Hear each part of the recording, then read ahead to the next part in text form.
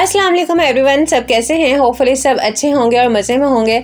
जी तो आज की जो रेसिपी है ना, वो है जी क्रिस्पी चिकन फ्राइड जो कि बहुत मज़े के बनते हैं।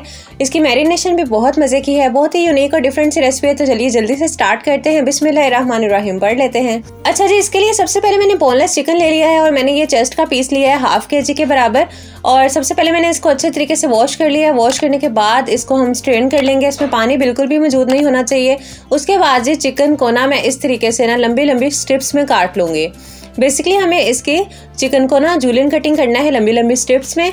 तो इस तरीके से जैसे मैं काट रही हूँ ना, पूरा चेस्ट का पीस मैंने ऐसे ही लंबी लंबी स्ट्रिप्स में काट लिया था। तो यहाँ मैंने सारे चिकन को ना स्ट्रिप्स में काट लिया था। अब इसके नेक्स्ट स्टेप में हम चिकन की मैरिनेशन रेडी करेंगे तो उसके लिए मैंने एक बॉल ले लिया है और इसमें हम ऐड कर देंगे एक अदद अंडा। हाफ़ टी स्पून इसमें जाएगा नमक हाफ़ टी स्पून लाल मिर्च का powder one four teaspoon हल्दी पाउडर वन पिंच इसमें जाएगा yellow food colour half teaspoon black pepper powder half teaspoon धनिया powder half teaspoon garam masala powder, one teaspoon chicken powder, half teaspoon जीरा powder. और ये है जी one teaspoon अदरक का पेस्ट, वन टीस्पून लहसुन का पेस्ट और वन टीस्पून ही हरी मिर्च का पेस्ट। तो अब इन सब इंग्रेडिएंट्स को ना हम अच्छे से मिक्स कर देंगे। ये मैं चिकन की मैरिनेशन रेडी कर रही हूँ। ये मैरिनेशन बहुत मज़े की थी और ये चिकन थ्रेड जो है ना, ये बहुत मज़े के बन के रेडी होते हैं। आप लोग इसे अफ्तार पार्टीज़ में भी बना सकते हैं और अपने घर की अफ्तारी में भी बनाइए। इनशाला आपके बच्चों को भी बहुत पसंद आएँगे। मेरे घर में भी सबको बहुत पसंद आए थे। बहुत डिफरेंट सी और यूनिक सी रेसिपी है। देखने में भी बहुत मज़े के लगते हैं और खाने में तो बहुत मज़े के होते ही हैं। तो जनाब जी, इन चिकन की सारी स्ट्रिप्स को ना मैंने इस बॉल में ऐड कर दिया था और अच्छे से हम इस मिक्सचर को ना स्ट्रिप्स के साथ मिक्स कर लेंगे। अच्छा जी, आप इसको ना आधे घंटे के लिए भी मैरिनेट कर सकते हैं, लेकिन मैंने इसको ना ओवरनाइट मैरिनेट कर दिया था। एक दिन पहले ही मैंने इसको मैरिनेट करके फ्रिज में रख दिया था। तो फिर नेक्स्ट डे मैंने इसको फ्राई किया था। जी तो अब आ जाते हैं इसके नेक्स्ट स्टेप की तरफ़। तो यहाँ हम एक सॉस रेडी करेंगे, जो कि बहुत मज़े की सॉस बनी थी। तो जनाब, इस सॉस को बनाने के लिए ना, सबसे पहले हम एक बाउल ले लेंगे और इसमें मैं ऐड कर दूँगी four tablespoon mayonnaise mayonnaise add करने के बाद हम इसमें ऐड करेंगे टू टेबल स्पून के बराबर दही, और दही आप थोड़ा सा ना खट्टे वाला लीजिएगा। उसके बाद ही इसमें जाएगी वन टीस्पून मस्टर्ड पेस्ट साथ ही इसमें जाएगा one teaspoon hot chilli sauce और वन टेबल स्पून इसमें जाएगा हनी हनी ऐड करने से इस सॉस का जो टेस्ट है ना, वो बिल्कुल डिफरेंट सा हो जाएगा, बहुत मज़े का लगेगा. अब इसमें वन पिंच के बराबर जाएगा जी नमक और वन फोर टी स्पून जाएगी black pepper one four teaspoon इसमें जाएगी गार्लिक पाउडर और इन सब चीज़ों को हम अच्छे से मिक्स कर देंगे.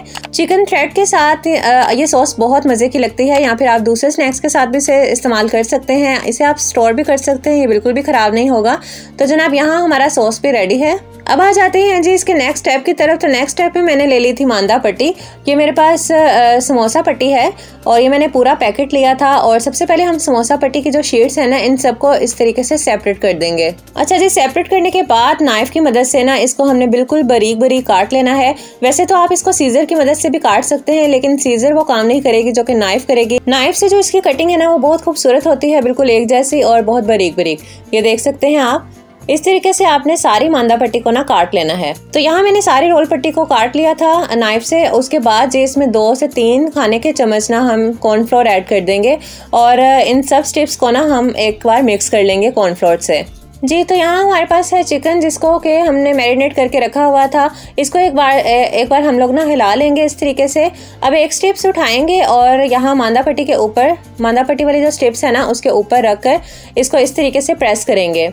जितना हो सकेगा आपने इसको प्रेस कर लेना है कि सारी जो मांदा पट्टी की स्ट्रिप्स है ना, वो इसके ऊपर चिपक जाए।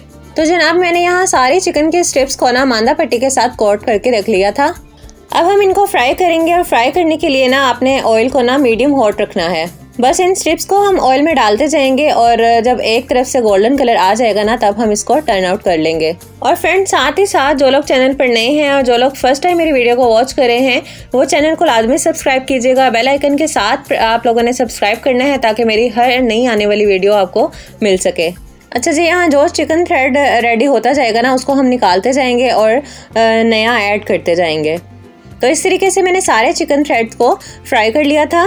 ये बहुत मज़े के बनते हैं। आप लोगों ने इसको ज़रूर ट्राई करना है। फिर मुझे अपनी फीडबैक देनी है कि आपको मेरी रेसिपी कैसी लगी है। तो ये है जनाब हमारे चिकन थ्रेड्स की फाइनल लुक देखिए कितने मज़े के लग रहे हैं ना। और इनका इतना प्यारा सा कलर आया था और टेस्ट में भी ये बहुत मज़े के थे।